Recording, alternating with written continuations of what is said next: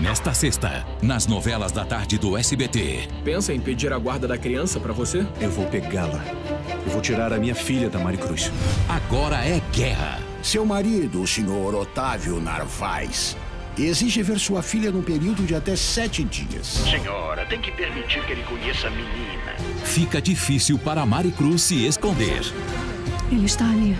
Nesta sexta, 5 e 15 da tarde, Coração Indomável.